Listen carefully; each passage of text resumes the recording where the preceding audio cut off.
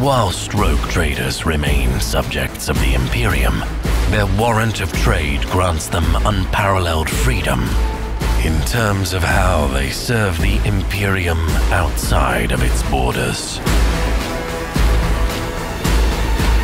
Some engage in convoluted political games among the highest echelons of the Imperium.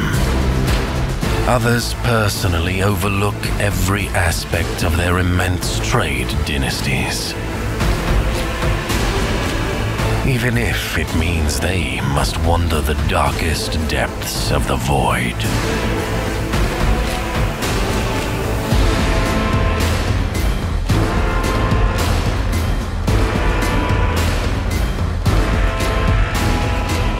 Get up close and personal with their enemies and rivals.